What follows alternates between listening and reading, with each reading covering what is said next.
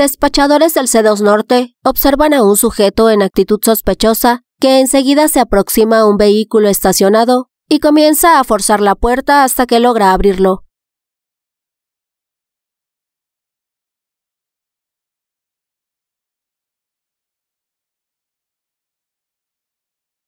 Se introduce y poco tiempo después sale llevando consigo diversos objetos.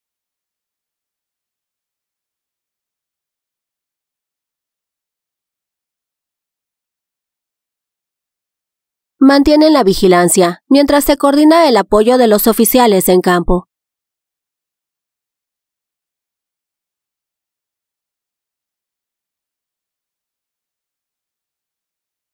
El sujeto trata de esconderse y pasar desapercibido. Sin embargo, al arribo de las unidades policiales, se lleva a cabo inmediatamente su detención.